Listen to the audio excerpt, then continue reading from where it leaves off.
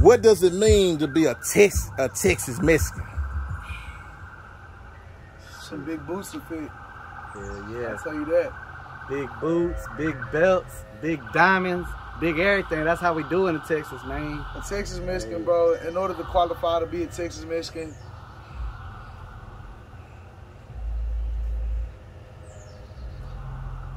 a, a go getting ass cool dude, bro.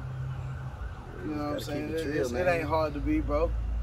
It ain't hard to be. You majority of the time just gotta be yourself. Yeah. You know what I'm saying?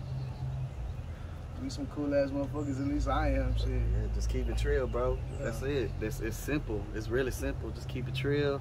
Be yourself. And always, Of you know course, you gotta be from Texas. Yeah, you gotta be from- Mexican.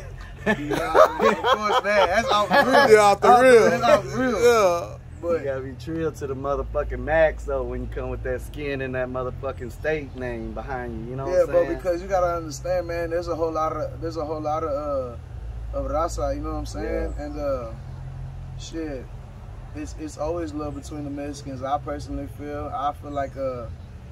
Like nigga, I got Cali Mexicans fucking with me. Cali Mexicans don't fuck with Texas Mexicans.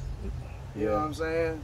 They look at us like, nigga, what the fuck? We be saying nigga like, what the fuck? Yeah. That shit throw them off. But it's like, I don't know, bro. I grew up, you know what I'm saying? We Yeah. just, I, we're, we're not as segregated over here. So, Exactly. you know what I'm saying? Like, especially with us growing up, you know what I'm saying? There's black kids, all, there's black kids in Little Mexico right here that I grew up with.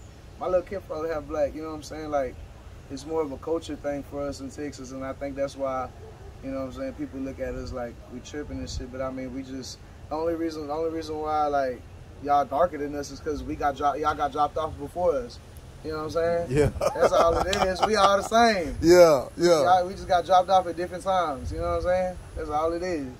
You know something that's crazy? You said that, bro. Cause I used to explain that to the homies out there in Cali all the time, bro. I say, bro, with Texas, bro, we coexist. Yeah. There ain't no segregation, bro. You feel me? We all bang one thing, and that's money. Yeah. You know there you go. There you go.